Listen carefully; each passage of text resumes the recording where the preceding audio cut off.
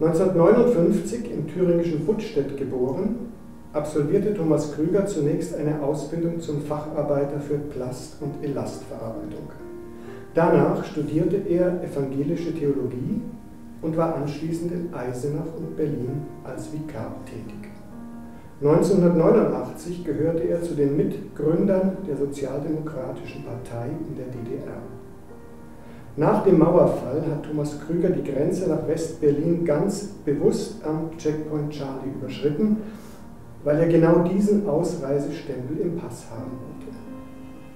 In Ostberlin war er vom 11. bis 24. Januar 1991 der letzte kommissarische Oberbürgermeister. Danach war er bis 1994 Senator für Familie und Jugend in Berlin und von 1994 bis 1998 Mitglied des Bundestages in Bonn. Seit dem Jahr 2000 ist Thomas Krüger Präsident der Bundeszentrale für politische Bildung. An einem Mittwoch, den 3. Oktober 1990, wurde die deutsche Wiedervereinigung mit dem Wirksamwerden des Beitritts der Deutschen Demokratischen Republik zur Bundesrepublik Deutschland vollendet. Wie veränderte sich Ihr Arbeitsalltag vom 2. zum 4. Oktober? Die Zäsur in meinem Arbeitsalltag fand schon am 1. Oktober statt. Ich war nämlich in Ostberlin seinerzeit stellvertretender Oberbürgermeister und Stadtrat für Inneres. Und als solcher waren wir für die Sicherheit zuständig, äh, mit, gemeinsam mit dem Westberliner Senat.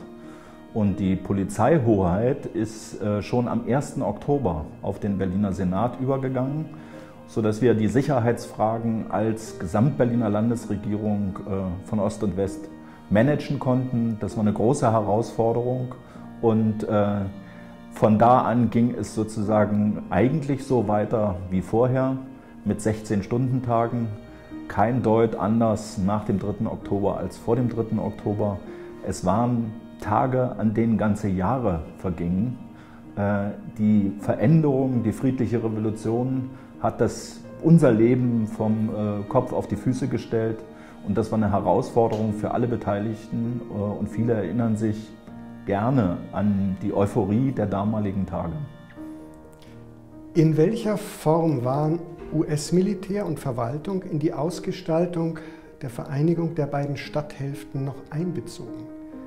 Berlin äh, war ja unter dem Vier-Mächte-Abkommen aufgeteilt. Ostberlin unterstand der äh, sowjetischen Administration, währenddessen die Westalliierten für Westberlin zuständig waren. Ich hatte insofern äh, eigentlich nur freundschaftliche Kontakte bei Empfängen in Westberlin mit den amerikanischen Militärs.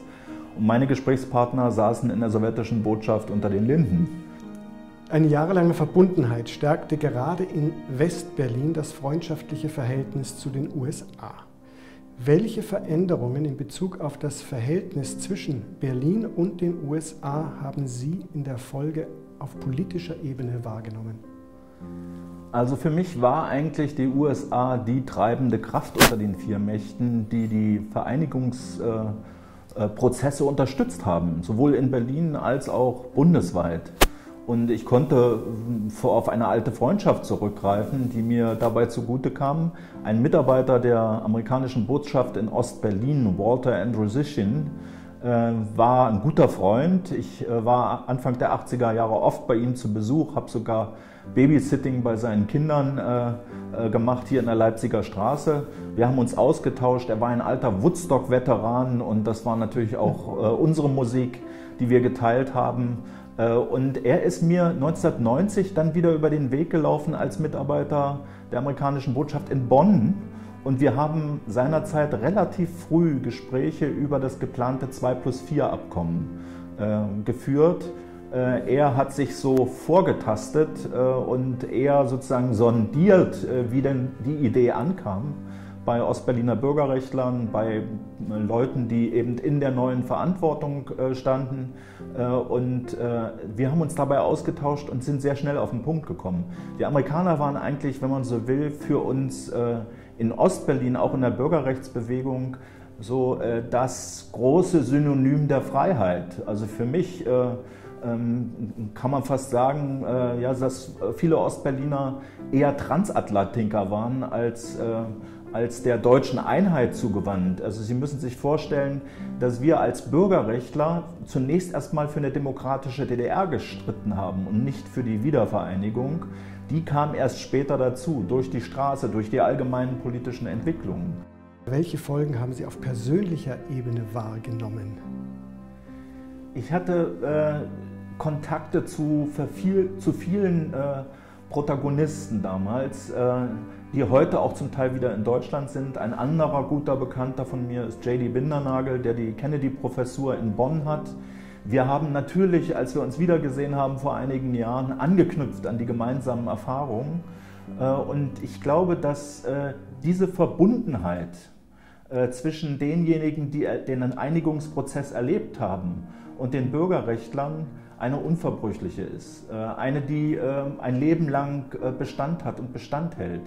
Und wir waren natürlich auch motiviert, äh, Kontakte zwischen Jugendlichen äh, zu knüpfen, ähm, sehr aufgeschlossen für das jeweils andere Land zu sein. Ich habe als Jugendsenator von 1991 bis 1994 sehr viel an transatlantischem Jugendaustausch äh, zwischen Berlin und, und den USA versucht anzuregen.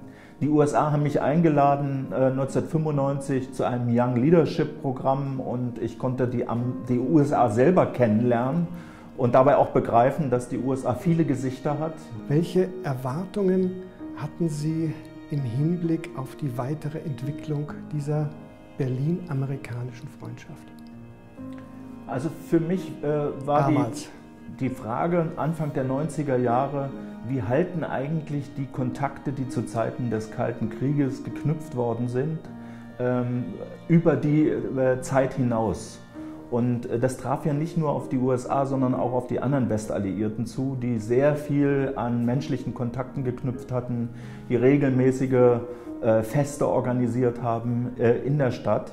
Und für mich ist deshalb die Fortsetzung dieses Geistes der Solidarität gegenüber Berlin eigentlich ein, ein wichtiges Zeichen gewesen, was man versucht hat, an die nächste Generation weiterzugeben. Und welche Erwartungen und Wünsche haben Sie heute an diese Verbindung? Äh, ich gebe ehrlich gesagt zu, dass ich äh, die USA heute nicht immer verstehe.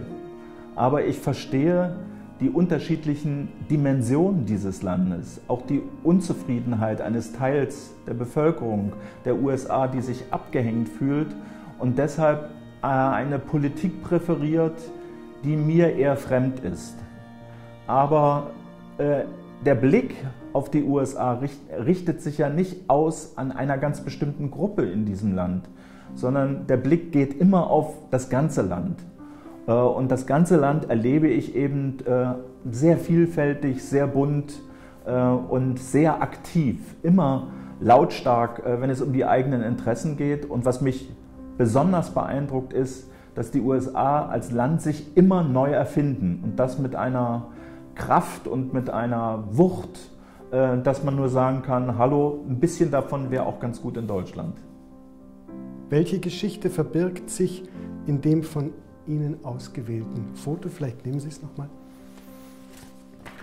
Auf diesem Foto sieht man Christine Bergmann, die spätere Jugend- und Familienministerin, äh, und mich. Wir tanzen, und zwar tanzen wir beim äh, Vereinigungsparteitag der Berliner SPD, äh, der im Herbst, im September 1990 stattgefunden hat. Äh, und damals sind Christine Bergmann und ich zu stellvertretenden Landesvorsitzenden gewählt worden. Und für mich war die Westberliner äh, SPD immer etwas, äh, was ich beobachten konnte im Fernsehen, weil die Partei Willy Brandt war die Partei, die sich für die große Brücke auch in die USA eingesetzt hat.